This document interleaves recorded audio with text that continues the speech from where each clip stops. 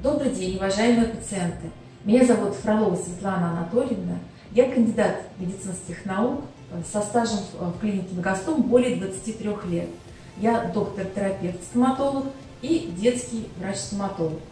Очень часто у пациентов на приеме возникает вопрос, а можно ли лечить кариес без сверления, помазать, чем-нибудь закрыть, но только не сверлить.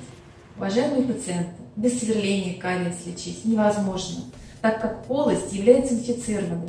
И просто прикрыть полость пломбировочным материалом, это означает оставить микроорганизмы под пломбой и дать им возможность углубляться и испортить зуб. Мы можем лечить кариес в стадии пятна без сверления.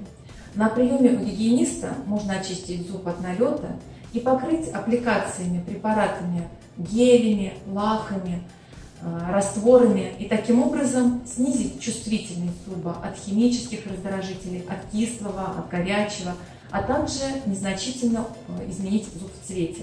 Особенно хорошо поддается такой терапии э, зубы у подростков и у детей. Возможно, даже полное обратное развитие кариеса, и зуб полностью будет своего цвета. Но у взрослых можно только снизить чувствительность. Если пациента беспокоит белое пятно на переднем зубе или часто возникающее в пришеечной области, можно провести малоинвазивную терапию. Бором сошлифовывается часть кариозного пятна, протравливается зуб, проводится бондинговая система и реставрация композитного материала. Нужно понимать, что нельзя лечить кариес на контактных поверхностях таким способом.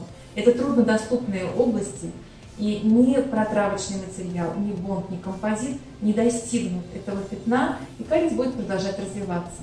Поэтому на контактных поверхностях нужна хорошая гигиена и лечение кариеса инвазивным способом, а на центральных зубах можно провести и неинвазивным способом. Дорогие друзья, приглашаем вас в клинику Мегастом. В нашей клинике есть все самое современное оборудование и специалисты, для восстановления красоты улыбки комфортно и без боли.